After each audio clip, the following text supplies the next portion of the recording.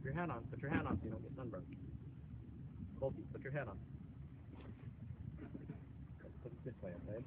That way. Say hi, Kyle. Here, take your hat off. Say hi, Kyle. Hi.